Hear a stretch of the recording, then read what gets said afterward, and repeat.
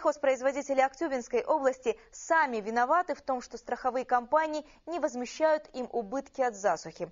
Об этом сегодня заявил ответственный секретарь Министерства сельского хозяйства Евгений Амон. Как оказалось, фермеры экономят деньги на страховании. В Минсельхозе не исключают, что в ближайшее время в Казахстане введут абсолютно новую концепцию страхования сельхозпроизводителей. В качестве примера чиновники Министерства сельского хозяйства рассматривают опыт Канады, США и Австралии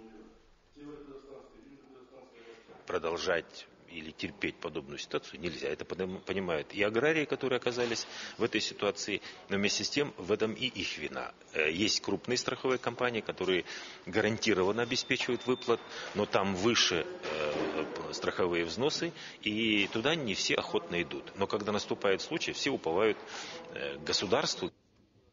Напомню, фермеры Актюбинской области накануне обратились к корреспондентам седьмого канала за помощью. Руководители крестьянских хозяйств уверяли, из-за небывалой засухи они терпят колоссальные убытки.